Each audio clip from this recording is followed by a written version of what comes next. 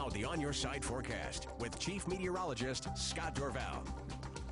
Well, it was back to school on Monday today and to an old familiar place, Ustick Elementary. These are the second graders here. We had a great time. Four second grade classes now, and they stayed and listened to talk about weather for over an hour.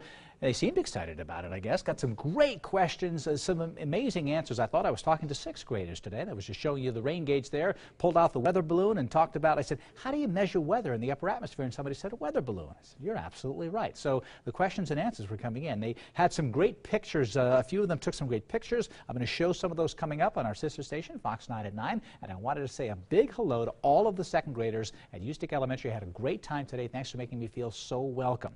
Well, we talked about, and I made a barometer for them to measure air pressure. And I talked about a storm coming in, and that pressure will be dropping. And the leading edge of it is this cloud cover from the Ford Dealers Tower Cam from